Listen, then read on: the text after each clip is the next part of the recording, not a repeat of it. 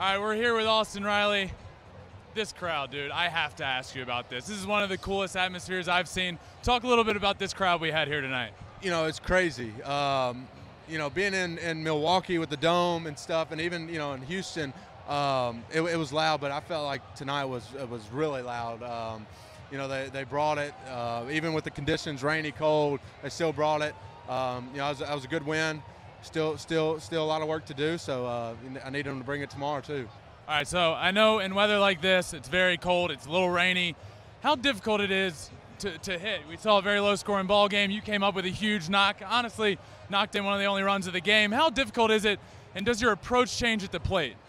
You know, not not really. Um, you know, the way I look at it, we're we're having to go through it. They're having to go through it. So it's just one of those things where you know you get you get in the heater, try to get your hands warm, because um, you know hitting one off the end does not feel good in the weather like this. Um, but no, I mean they have they have really good pitchers. You know, I'm just trying to stay in the middle of the field um, on the fastball, and I think that was the reason why I was able to stay on that slider. It's a great at bat. One last question.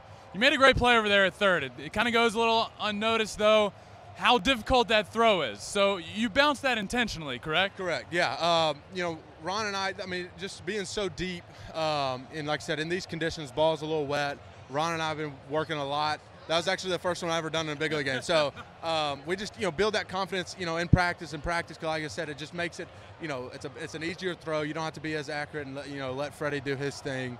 Um, yeah, I, I, actually like it a lot. Pulled it out in a big moment. Congrats, man. Yeah, thanks. Thanks for watching. If you love flipping bats, swinging 3-0, or just talking ball, join us. Call us at 213-537-9339 with your questions. We have a weekly guest and we have a lot of fun, so hit that subscribe button.